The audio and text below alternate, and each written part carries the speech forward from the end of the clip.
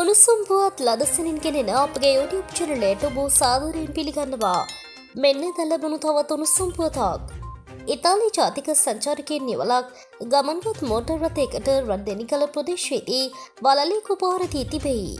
අලියා විසින් පහරදී එම මෝටර් රථය පෙරලා තමා ඇතත් එම සංචාරකයුවරට කිසිදු හානියක් සිදුවී නැතැයි පොලිසිය කියයි. ඔවුන් දෙදෙනා එල්ල ප්‍රදේශයේ සිට මහනුවර දෙසට වාහනයෙන් ගමන් කරමින් සිටින අතරවරේ මෙම ප්‍රහාරය එළවී ඇත. මෙවැනි උණුසුම්පුවත් ලදසනින් දැන ගැනීමට අපගේ YouTube චැනලය සබස්ක්‍රයිබ් කර බෙලයිකනේ ක්‍රියාත්මක කරන්න.